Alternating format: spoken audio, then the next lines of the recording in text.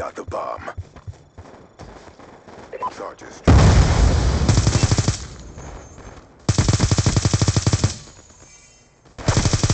UAV awaiting orders.